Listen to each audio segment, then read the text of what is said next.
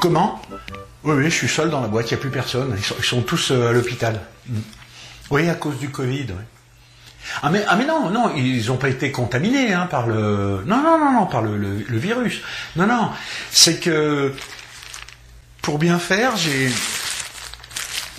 fait fabriquer des, masques, mais avec du plastique.